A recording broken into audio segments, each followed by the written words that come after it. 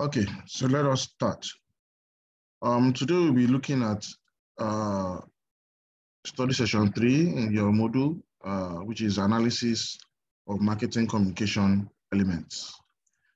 And uh, at the end of this ses session, you should be able to define who the communicator is, uh, discuss the credibility of the source, discuss personal and non-personal channels of communication, define the message and differentiate between pleasant and unpleasant messages, uh, discuss message design and structure, define audience level of aggregation, discuss level of audience awareness and interest, identify factors that determine audience persuas persuasibility, uh, list steps in selecting promotion targets. Now, uh, generally, you know, although we're for this class, we'll be discussing marketing communication, but generally, uh, in for any message, uh, for any type of communication, uh, the sender or the source is the person that originates that message, is the person that determines the content of the message, is the one that uh, has an objective that he wants to to to to meet, and then you know sets that, and then uh, develops the message according to that objective. But going forward, that's generally for anything communication, that's the sender or the source. But, and it's the same for marketing communication. But everything we're going to be discussing from here on out is about marketing, is specifically about marketing communication. So the first thing that you must develop as a marketer is that you must be credible because the credibility of the source will uh, go a long way in determining whether the message is received uh, favorably or not. Now, there are some factors that you, we, we, consider when we look at how a marketer can become credible. The first one is expertise. How much of an expert are you in the matter? So if you don't sound as if you know what you're doing, it's likely that your customers will just be wondering that this guy doesn't know what he's doing, so why should I buy his product? Uh, the second factor there is, is trustworthiness. Are you trustworthy? Can the customer look at you and say, oh, this is somebody I can trust, or you have consistently lied in the past and the, the customer is looking at these people are just a bunch of liars. We can't uh, trust what they say. And then the last factor is likability. Are you a likable person? You know, there are some people that you just see and because of their countenance and the way they carry themselves, you just look that I don't like this person. So you have to, uh, for as a marketer, you have to project a countenance that will be likable to the customer. Uh, that's very, very important. And um, so let's look at some of the channels of marketing. The, we have two different channels of marketing. We have the personal and the non-personal. Now, the channels of marketing communication are the channels that by which you as a marketer can send your message across to the customer. So, you know, messages can take different formats. It can be audio, visual, it can be audio alone, it can be written, it can be emails, it can be SMS. So there are different channels that you can use to uh, reach your customer. And but all those different channels are grouped under personal influence channels and then non-personal influence channels. So we'll go a bit uh, into more detail of the two now. Uh, personal influence channels uh, are, are, are, are, influence channels that are peculiar to you as a human being.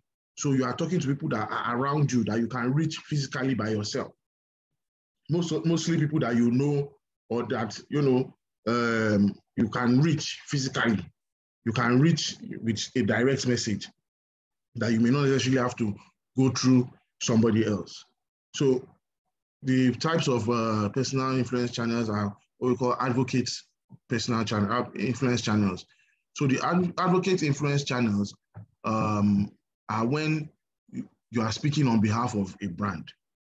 Like for instance, um, you've seen where uh, you've seen where celebrities, like for instance, I know that um, Don Jazzy, Don Jazzy was the is the brand ambassador for for uh, what's the name of this bank? is it Veda Bank or something? Yes, Veda Bank.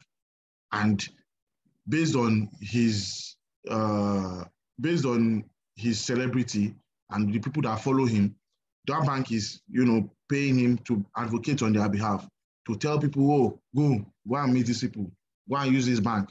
They are good and everything. And they are going to get a lot of uh, customers based on their association with him. So he is using, he is leveraging on his network, his social network, to uh, speak on behalf of the brand. So that's personal, uh, one of the personal influence channels. Uh, the second one is expert channels. Now, this usually takes the form of somebody who is who, who is known for being knowledgeable in the matter. You know, like for instance, if you take somebody like Pat Utomi, who is known for being manage, being knowledgeable in economic matters, and then you now tell him that okay, come and speak on behalf of this economic policy. And he comes there and he speaks and says this economic policy is good. Imagine the government hires him and says, come and speak on this economic policy. And he goes there and he says this economic policy is good. Many people will believe that that policy is good because they believe that he's an expert in that um, in that industry. So because he's an expert and but industry expert channels are usually used when we are trying to pass along technical or difficult to understand uh, messages. So uh, the third one there is social channels. Social channels is when you as a brand, you are reaching out to people in your church, you're reaching out to people in your in your children's school, the people that are around you basically are part of the people that we call your social channels. So people that are, you know, in your workplace, your customers and their friends and all that. So those are social channels of uh, uh, sending a message. And the three of them together make up what we call the personal influence channels, which are channels, once again, that are, you know, you can send direct messages to that are around you. Now, the non-personal uh, influence channels are messages that you send to people who you don't even know. You just send them out. It's more like, you know, in our last class, I think, yes, it was in our last class, we discussed mass communication.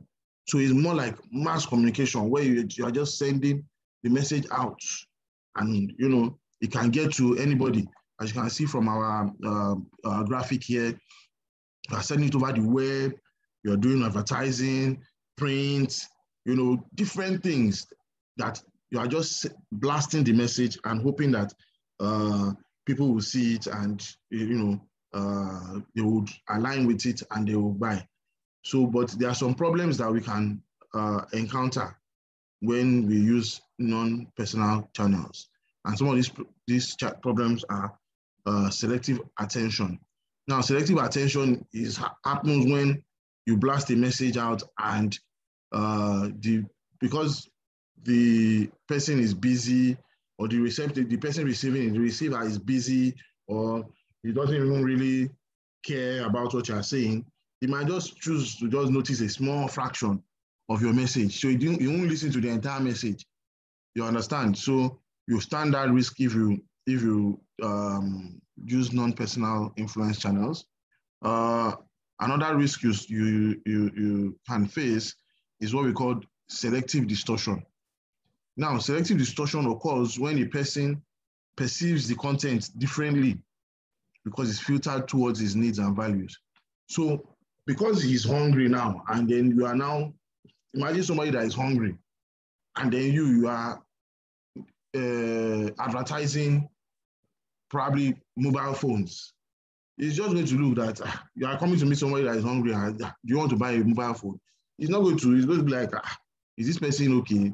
What kind of message is this one that this person is sending to me? And so on and so forth. So he he distorts the message. He becomes angry at the message because it is filtered towards through his needs and values. So some in some cases, you can send an advert and the person doesn't will see the advert and because maybe because of his religious beliefs, he doesn't think that that kind of message should be broadcast over mass uh, over mass channels, um, um, uh, mass uh, marketing channels.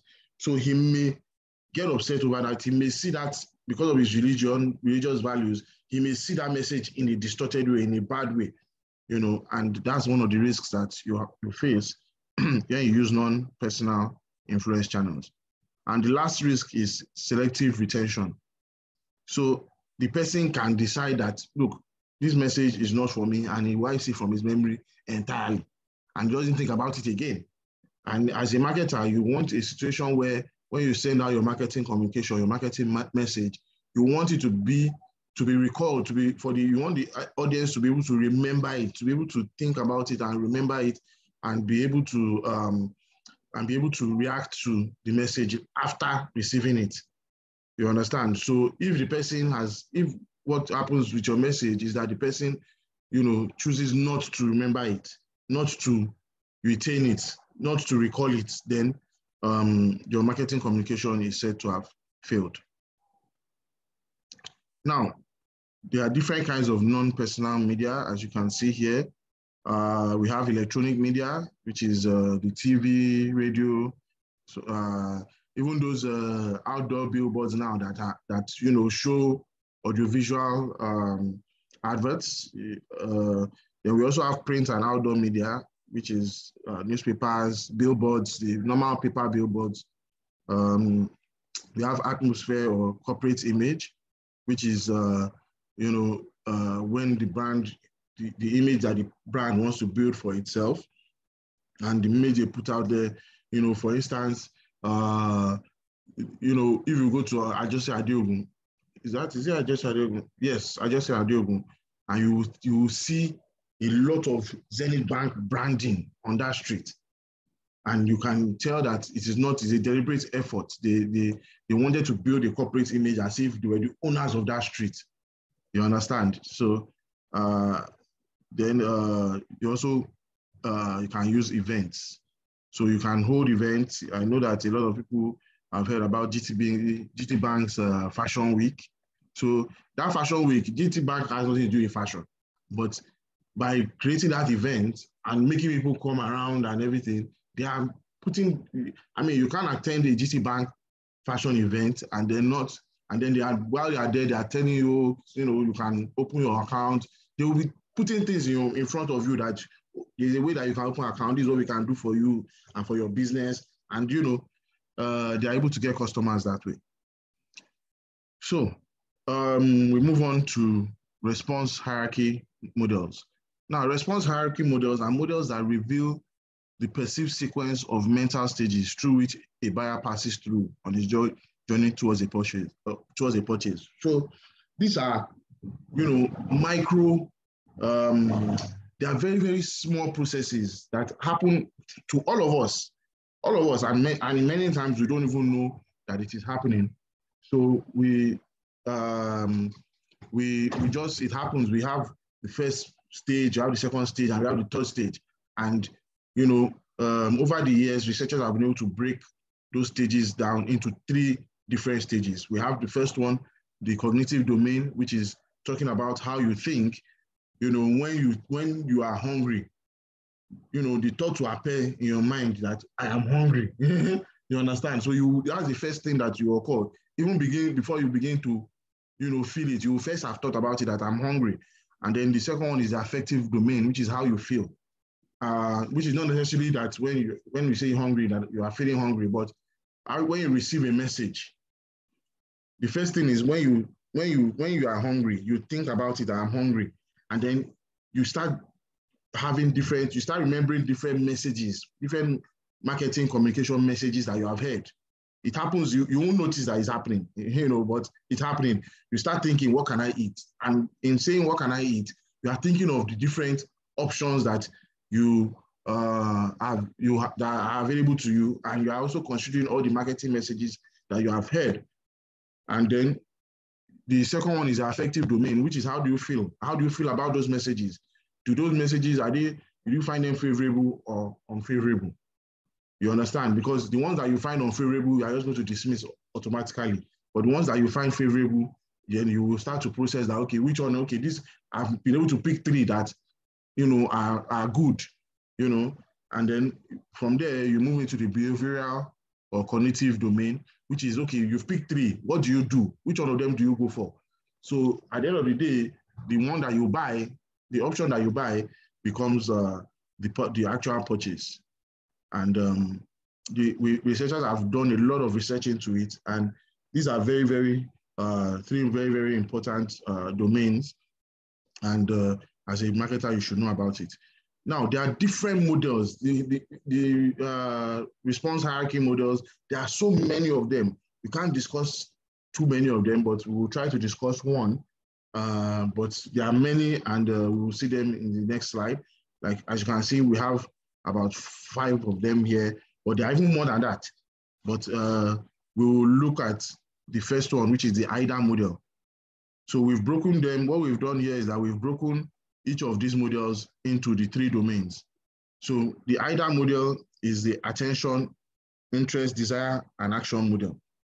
The attention is, you know, when you receive the message, how do you receive it? Does it grab your attention or do you, uh, for, you know, ignore it? Remember we spoke earlier about uh, about se selective uh, selective cognition, well, se selective attention. You understand where the whereby the receiver of the message does not you know, decide whether he wants to, the message is good for him or not. So the first step in the AIDA model is getting the attention of the uh, receiver or the customer. You understand? Does, you, does your message attract that attention? If your message does not attract the attention, then as a marketing communicator, you have failed. But at the first stage where you attract the attention, that means your message is, is bold enough or is bright enough or is Remember, we I think we in this class we have discussed um, self-concept. Okay, no, it was anyway. But does it align with the person's self-concept? The person's self-concept is how the person sees himself. You understand? And what he thinks he will like. So if your message does not align with the person's self-concept, then you cannot get their attention. But once your message aligns with the person's self-concept, then you can get their attention. And once you get their attention, you move to the next stage, which is the affective stage. Does your message, does it, do they have interest? Yes, they got their attention. You know, it was bright, it was colorful, it was loud, you got the person's attention, but was did it did he develop interest in your message? Was he interested? Was it, or he just said, I've heard your message, but I'm, I'm not interested. I don't, I don't want to buy. At the point where the customer says, I don't want to buy, you have lost him. But if you're able to develop the person's interest. I think, oh, I want to know more. And then you start giving him more information. And then from there, you build a desire in the customer, where the customer is saying, ah, this product, I think I'm very interested in this product. So once that desire has been built, you have gone through two stages in the affective uh, domain, which is interest and desire. So once you have built interest and you have built desire, the next thing is for you to put a call to action, which is to allow the uh, customer to purchase. So that is the action part of it is, the, is in the behavioral uh, domain. So the action is, you know, after you have built the desire, then you have to make it easy. You have to prompt the customer to buy. You understand? Either by saying something like, oh, should I pack it for you? Or some you understand you just say something that will prompt action. And once you have that action then uh yeah the customer has gone through a response uh stage a, a response process. A, you know he has gone through a response process for purchase. And uh, that's the AIDA model. So there are many other models uh, I believe they are described in your module. If you can't get them in your module you can search online and um, try to learn more about them. But most of them are it's just the same process, you know, but is people that researchers come out and define it in different ways and uh, form their own different models. But mostly they are all they all follow those three domains: the cognitive domain, the affective domain, and the behavioral domain. So now that we understand the process of how uh, customers, you know, receive a message and act, or from the point of receiving a message to the point of action, we now understand the process. So now let's look at how we can how we can stimulate that process, how we can help to drive that process along. Now, the first thing, you know, the first step is that the message must reach the sense of the persons who have to be influenced. It must get to them. You understand? When we say sense, we mean your different five, your five senses, whether it's uh, audio visual and they, they will see it and they hear it, or it's audio audio alone and they will hear it, and or it is in print and they will see it. And uh, in some cases, imagine if you are selling food and uh, you are, you are, your food is, is smelling nice and you are just in an open space, your food is smelling nice, and somebody that is passing by just smells your food, you know that you have sent a message to the person. You have sent a message to the person because the person will say, ah, nice smell, and might branch. Eh, imagine if he was hungry, you just branch in your place and you have, cost, you have made a customer. So your, your the first things first is that your message must reach the sense of the persons who are to be influenced. Your person, the person you want to convert to your customer, your message must reach that person. However, you can do it. Just make sure that your message reaches that person. Now, once your message reaches that person, it must be accepted as part of the person's cognitive structure, which means that you must, like I said, you remember when I said self-concept, you must align with the person's self-concept because it's possible for your message not to align with the person's self-concept. And if it doesn't, it will be rejected or distorted. You understand? And once your message is distorted, that means you are not, you know, really communicated because you won't get the feedback that you expect. You understand? So your message must be accepted as part of the person's cognitive structure. You know, so it must align with the, what the person wants. If it doesn't align with what the person wants, you know, then you are just wasting your time. Now, uh, the third step is to induce a given action by mass persuasion. This action must be seen by the person to, to by the person as a path to some goal he has. So not just must the person, must your message align with the person's uh, self-concept, which means that, oh, this is possible, I might be able to use this. But for your message to stimulate that final uh, step of action, it must be, apart from the fact that, oh, I can use this, it must, oh, I need this. So it must be, a, a, your message must, I mean, to catch the attention in the first place, you must align. But after it has aligned, you, you've gotten the person's attention, then you must find a way to persuade the person to that he needs that product. That, oh, you know, if I'm going to use mobile phones, for instance, and I'm thinking that, oh, what are the brands I can use? I know that, you know, I would like uh, brands such as Samsung or Apple. You understand? There are some people that won't consider Tecno, that won't consider Oppo, that won't consider uh, Infinix. There are some people like that. They won't consider it. They won't. If, if they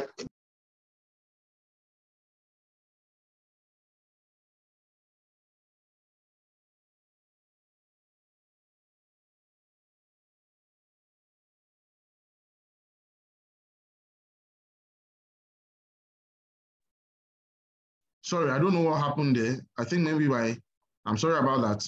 It appears that my my network just, you know, went off. sorry about that. Uh, let me try and find where we are.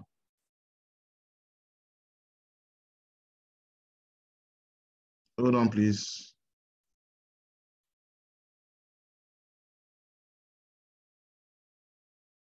Uh, Hold on, please. Let me make sure we're recording.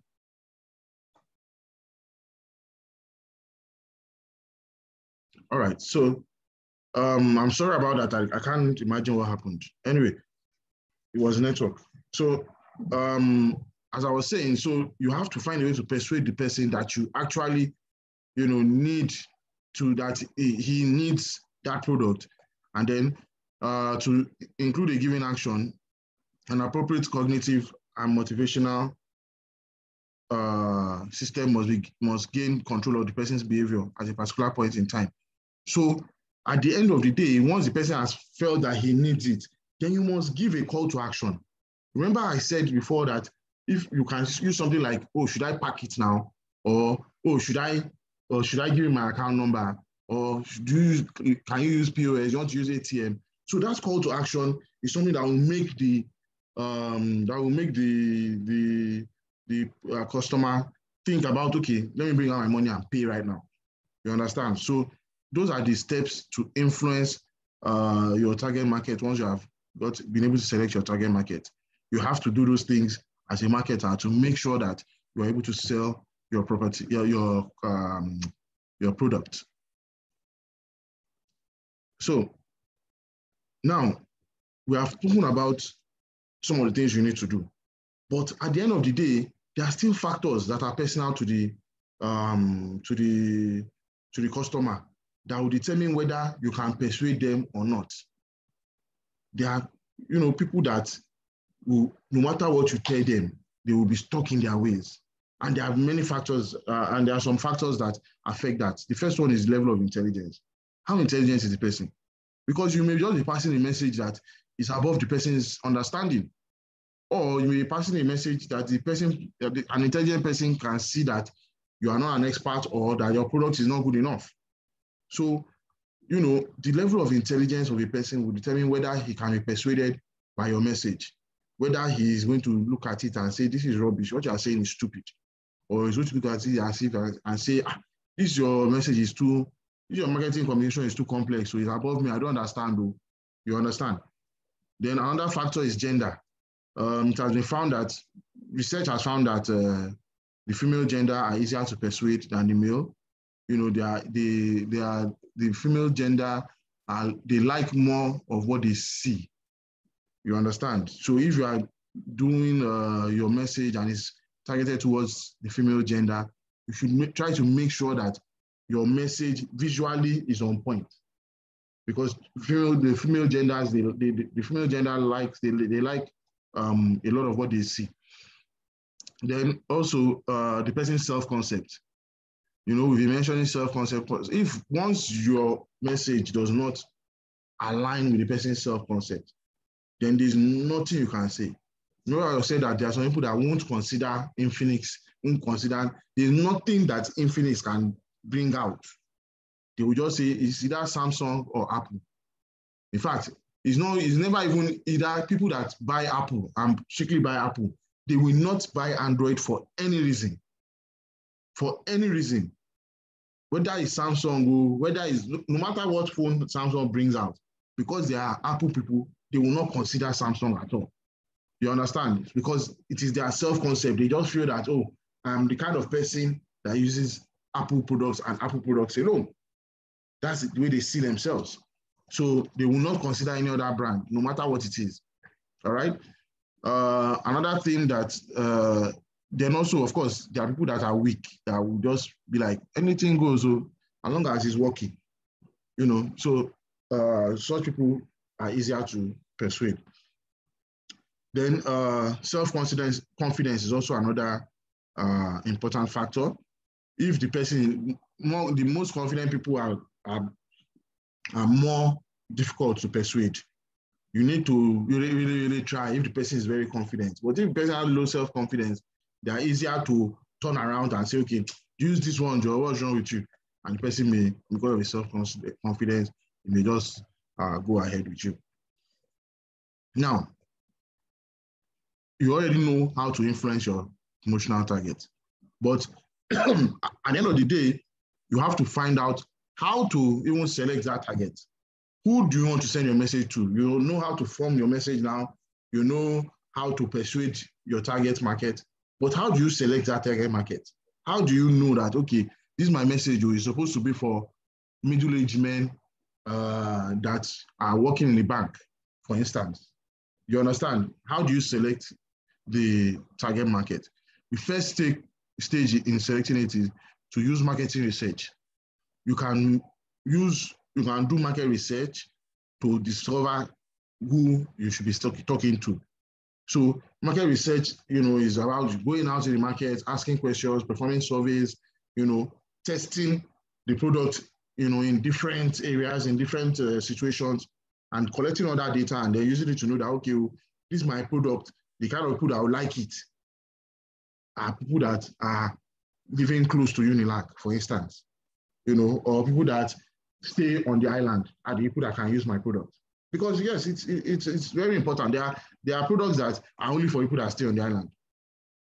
You understand? And there are products that are only for people that stay in Mushin. They are. Imagine somebody that um, was making pure water.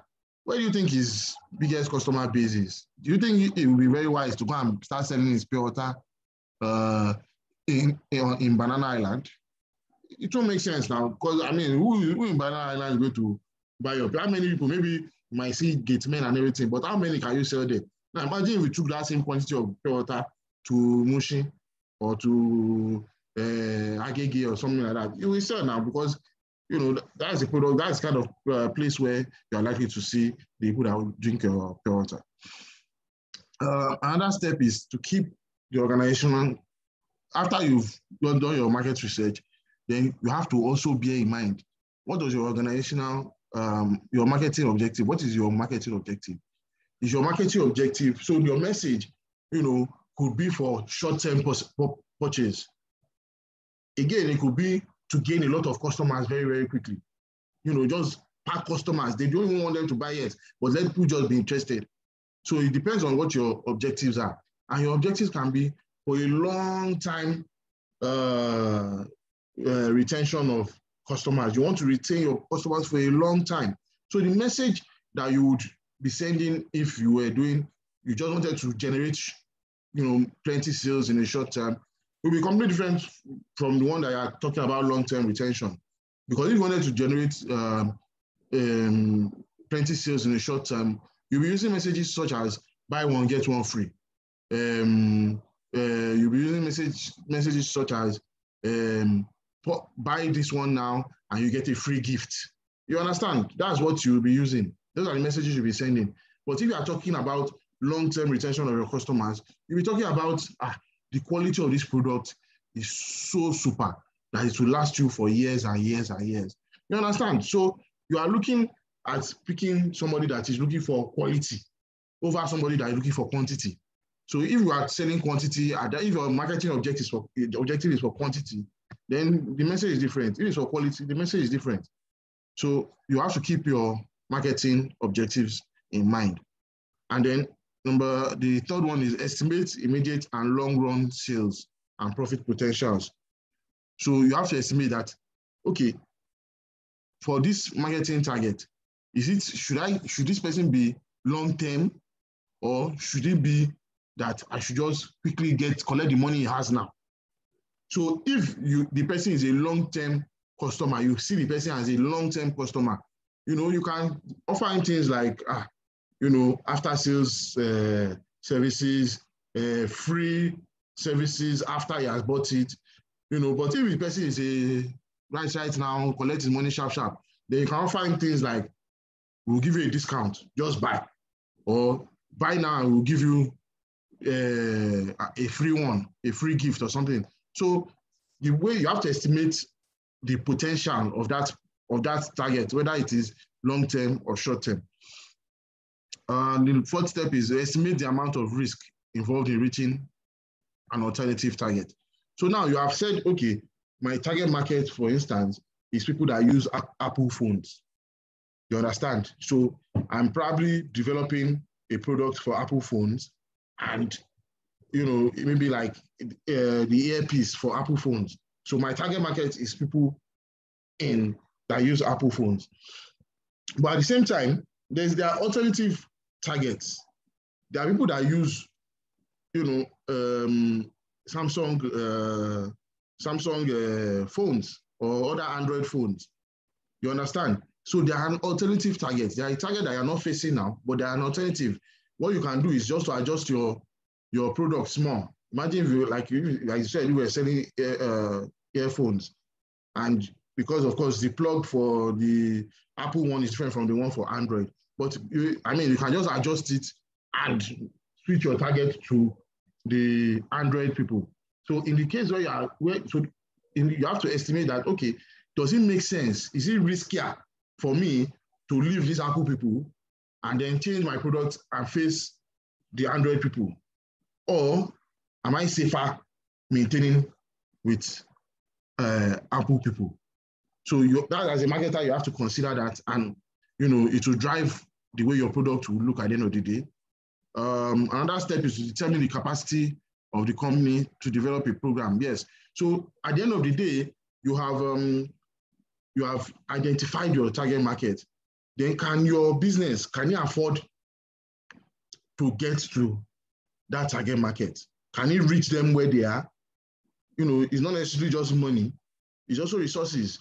Imagine uh, a company like Ferrari, uh, and you know, they designed this uh, Enzo Ferrari back then, I remember, and they only sold those Enzo Ferraris because it was a limited edition. They only sold it to people who already had Ferraris or who had bought a certain number of Ferraris. So you have to have bought a certain number of Ferraris before they will allow you to buy that Enzo Ferrari. But you know, they could only do that because they could they, they have a database of the people that own their cars. But Toyota cannot cannot say that because no, they don't have a database of the people that are buying Toyota. But if you are buying a brand new Ferrari, trust me, there's a database. In fact, they will collect your biodata because you is your biodata, is your thumbprint, your biodata that you use to, to, to start the car these days, you know. So they must have your details, you know. So the company has, must have a capacity to reach uh, the intended target. Then another step is to determine uh, competitive advantages. So um, exactly like what Fer Ferrari did, they used the fact that these people are already people that like Ferrari. So it was easier for them to reach those people because they have their database.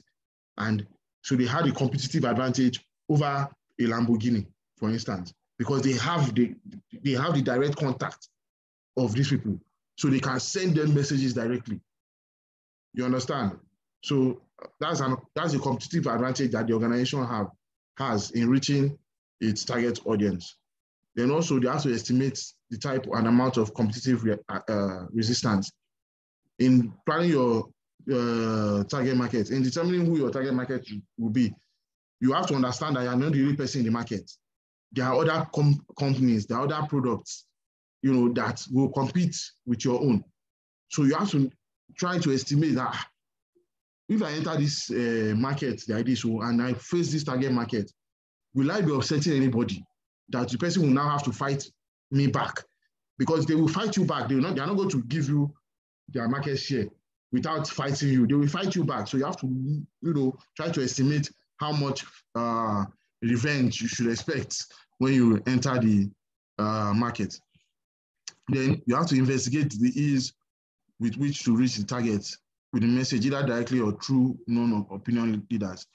You know, so you have to know how you have to. So it comes back to your capacity or your capability. Do you, as a business, have direct contacts to the people you want to sell to, or do you want to call Don Jazzy to come and help you? You know, send it to his um, his followers. If you know that your company's strength is you don't have that reach, that direct reach to your customers, then by all means call uh, Don Jazzy and let him help you. You cannot, you know, say you, if you if you lie to yourself and you think you are doing anybody, it's only yourself you are doing at the end of the day.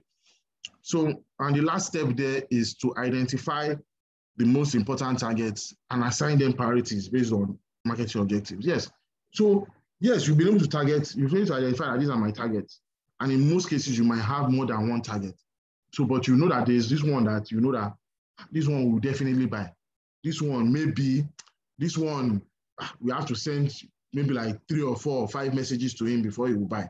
So you have to analyze your target and your targets and then, you know, know the ones that are quick sales. So you quickly move to them, you know, get them to buy and then you are done with them. And the ones that you need to do a little bit of work to, to, to persuade. And then, then you can now plan on how you want to persuade those ones. So uh, those are the steps uh, involved in selecting your target. And uh, as a marketing professional, you have to master all these steps because it is actually very, very technical in the field. Uh, so you have to master these steps and be, be sure that you're selecting the proper market, the right market to send your message to. Otherwise, you may stand the, the risk of facing uh, those risks that we talk about, the selective attention, selective distortion, and selective re retention. So if you don't select your targets well, then you are going to run the risk of having that when you send your marketing communication out. So um, to summarize this study session, we have looked at uh, how to uh, determine the source, uh, who the source of the message is, uh, how to form credibility as a marketer, uh, we have examined the marketing communication channels. Uh, we have also discussed response hierarchy models and we, you know, discuss one of the examples. Um, we've, you know, looked at how to influence your target market and how to persuade them. That's audience uh, persuasibility. And then finally, we uh, examine the steps in selecting your target audience. So this brings us to the end of the question of the presentation. And um, so thank you very much for listening. And if you have any questions, please send them to the chat now. If you have any questions, send them to the chat right now, please.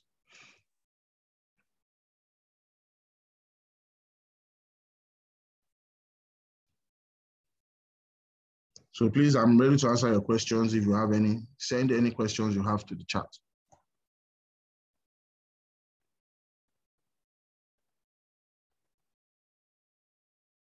So we'll give the next five minutes for questions. And if there are none, we'll call it a day.